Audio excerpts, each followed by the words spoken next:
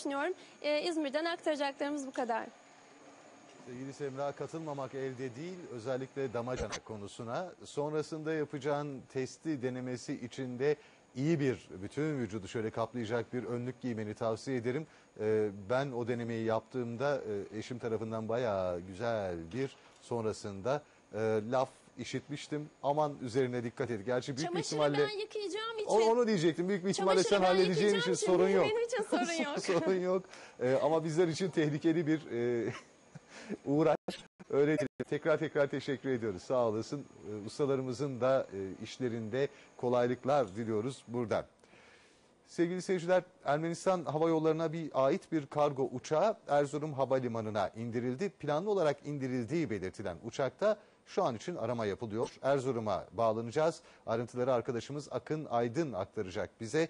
Ee, Akın hemen sözü sana bırakmak istiyorum. Son